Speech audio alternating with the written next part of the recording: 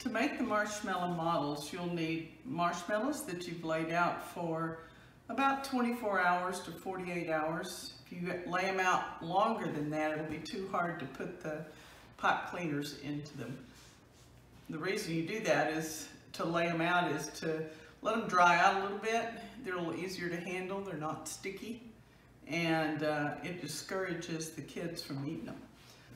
So you need pot cleaners, need a Sharpie marker, and some old scissors because you're going to be cutting the pot cleaners with the scissors so you don't want to use your good scissors. So you can see I've made some already and uh, let's make nitrogen. Nitrogen has three pot cleaners for one bond. You'll see that on the uh, instructions.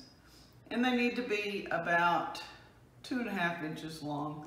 You can measure them or you can just estimate. It's not important. Um, kids may notice that there is a triple bond or they might say three pipe cleaners. Um, it's okay if they notice. Um, we're just building them that way because it to get the effect you need, they need to be built accurately. Triple bonds are a little stronger than single bonds, so we're going to go ahead and put that in there. I think I actually have there you go. You just push them in a little ways and that's the molecule. Then you'll take a, a Sharpie marker and it's easy to write on them since they've dried out a little bit. So we'll mark them.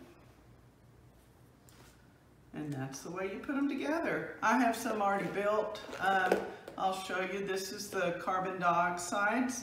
So there, there's two bonds in here, double bonds and uh, the carbon goes in the middle. It doesn't really matter. Kids, if you put them the other way, it's still gonna work. Um, the methane is the biggest molecule and in the picture in the teacher's guide, it shows one built kind of like this. And that's a uh, tetrahedron. If you want to put it together like this, that's fine. It doesn't really matter. And here's water. Here's oxygen. It's got a double bond. And uh, what the kids are going to do is to move them around and what they'll notice is that the water, the methane, carbon dioxide kind of wiggle when you move them around. The, the atoms are not rigidly connected and so they're able to move around.